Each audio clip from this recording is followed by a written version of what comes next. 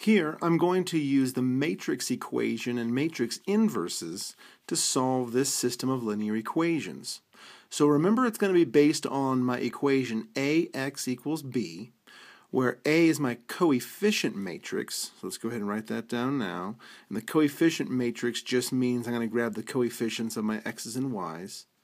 So the x's will go in the first column, and my y's will go in the second column and then it's going to be multiplied by x, which is my variable matrix, which means I have x's and y's, and that's going to be equal to my constant matrix, which is negative 13 and negative 12.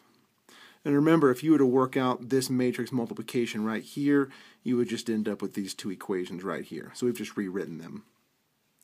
So what I'm going to do now is find the inverse of this coefficient matrix and then multiply each side of this equation on the left by my inverse coefficient matrix. So let's go ahead and find that right now. Slide over a little bit. So in order to find the inverse, it's going to be 1 over the determinant, and then I'm going to kind of rearrange these terms a little bit.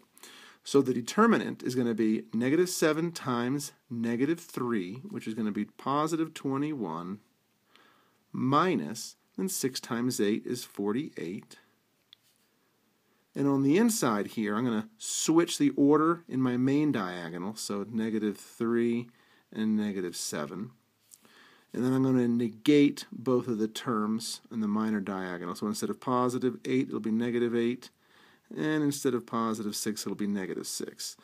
So let's go ahead and just kind of simplify this. So 21 minus 48 looks like it's going to be, what, uh, 27, so 1 over 27, and it'll be negative. And then uh, that'll be this right there. Okay, so the last thing I'm going to do is going to simplify this. So scalar multiplication tells me that uh, every term inside here is going to be multiplied by negative 1 27th. So this will look like 1 ninth. Looks like 8 27ths. Uh, 6 27ths can reduce to what 2 ninths. And, uh, and then 7 over 27. Okay? So what's happening now is I have this inverse matrix, and I'm going to multiply each side of my equation on the left by this. Okay, so I'm just going to rewrite everything here. So 1 ninth and 2 ninths, 8 twenty-sevenths, and 7 twenty-sevenths. And that's going to be multiplied through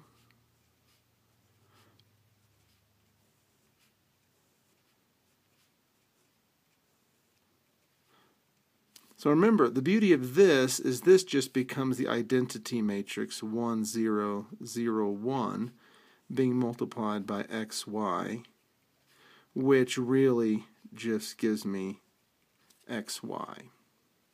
So it's really only the right side that I'm concerned with. So again, rewriting all this stuff.